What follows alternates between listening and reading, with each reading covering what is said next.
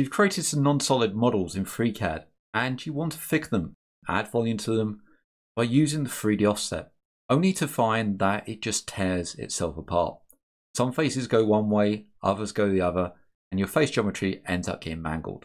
In this video, we're going to cover the reasons why that happens and a solution to fix it. So let's have a look at this problem in more detail. So for this demonstration, we're in the part workbench because we're going to be using surface modeling.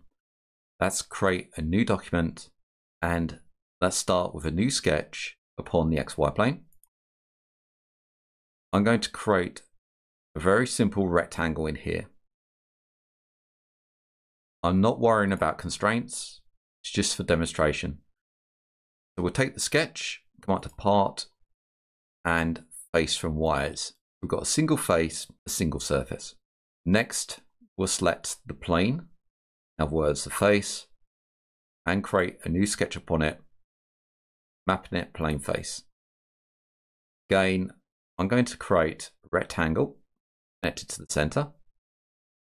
Let's hit close. We'll take the sketch and extrude it. Now this is going to extrude into a solid. And we can see create solid is selected. I need to uncheck that, but if we do hit OK and create this as a solid, we can come back to the extrude and uncheck solid. So we have a face or surface and a shell, which is the extrude. We can join these together. I want this void to go all the way through the face. Do that, we first select the extrude, control select the face, come up to part, come down to join and connect shapes. We've connected the face to the shell or the face to the extrude and left a void within. It's still an infinitely thin surface, but we can still use fillets across these edges. So I'm just going to select one edge for the time being and create a fillet. Now I'm going to work my way around, selecting the edges. I'm not holding down control. We can see they're selected on the left hand side here to check by the side of them. And we just work our way around the model. Now we've added our edges, we can hit OK and we can see the fillet has been added. Double click that fillet and let's increase this. In my case, three millimeters, create a fillet, softening the edges that connect the face. So the problem comes when we want to offset this.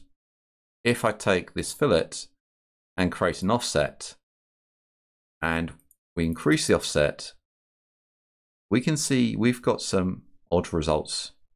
We've got problems with the fillets, it's going inwards, and our geometry is not valid anymore. We can't fill this geometry. If I hit OK, though it has been filled, we've got issues all the way around here. I was suspecting the fill to result in an error. It actually has taken, but this geometry is obviously incorrect. Let's delete that offset. Click on it and hit delete on the keyboard. So what's the reason for this? Well, what's happening is that the normals of this face and this extrude point in the opposite directions, creating this tearing effect against the geometries. How do we know this? Well, there's an easy way. I'm just going to click on the fillet and come down to the view and look for the setting for the lighting.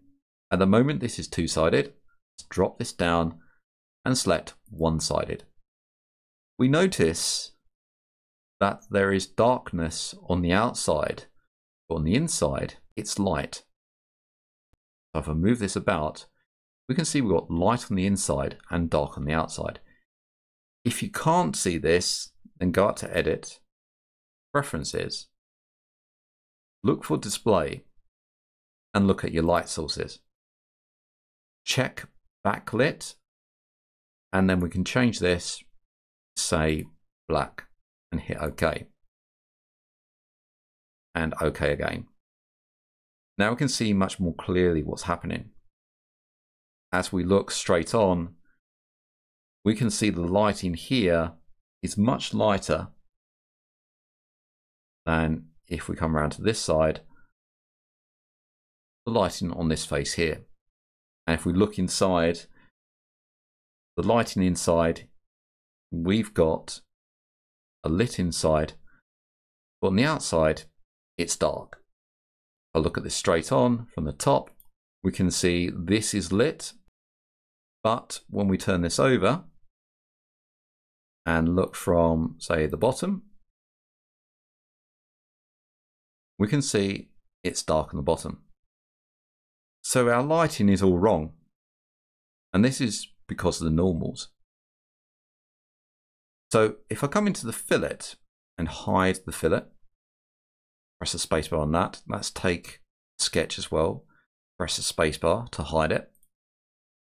And look at the extrude and the face. And look at these together. We have to control select both of these and look at the View tab and set the lighting to one-sided. We can now inspect what we have. So we have dark outer, and when we look at this face, it's light, the underside's dark. So if I reverse the normals of the extrude by first selecting it and coming out to part, and then clicking on reverse shape, take this extrude and hide it. And we'll take this extrude and check that the lighting is set to one-sided. Lighting now is correct. The outside is lit correctly, so the light is falling on the outside and the light is falling on top of the face.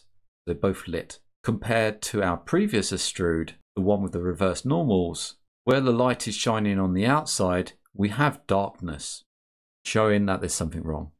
So now I have to swap the extrudes out. The reverse extrude for the normal extrude. So the connect is the one that connects the face and the extrude together. And if I look on the connect and look at the data tab, look at the objects, we've got a extrude and face. I can now take these objects, click on it, select the button on the end, and then uncheck extrude, and then check extrude reverse, and then hit OK. Extrude has been removed from the connect. We can see it at the top here. I'm going to click on it and press the spacebar. The face is visible. We can hide that with the spacebar or using the eye icon and the connect will make that visible.